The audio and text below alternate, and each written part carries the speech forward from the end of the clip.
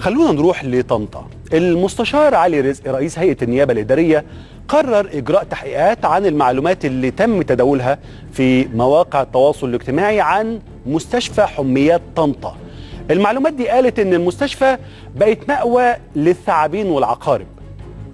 عدد من مستخدمي مواقع التواصل الاجتماعي كانوا تداولوا معلومات عن وجود عد عدة مخالفات في مستشفى حميات طنطا والمخالفات دي بتحتاج للتحقيق. منها نشوب حريق هائل على مساحة ألف متر داخل سور المستشفى وبعد كده الحريق امتد داخل المستشفى. كمان الباعة الجائلين بيستغلوا أجزاء كبيرة من المستشفى في تخزين عربياتهم وحاجاتهم.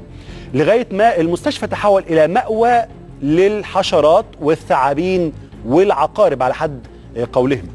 رئيس هيئة النيابة الإدارية قال إنهم حاليا بيحققوا في المعلومات دي. هل هي صحيحة ولا لأ؟